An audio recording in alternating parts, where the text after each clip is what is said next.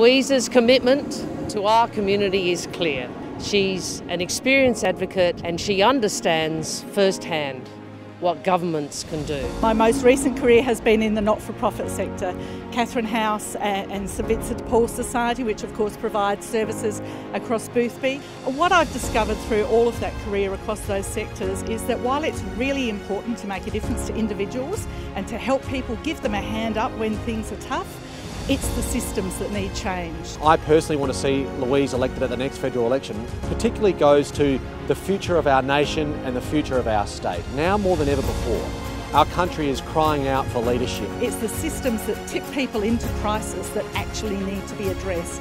And that's why I'm here. That's why we need an Albanese government to change the system so that everybody has a fair go and that we can build out of this COVID crisis, we can build out of our economic crisis, and we can build better for Australia.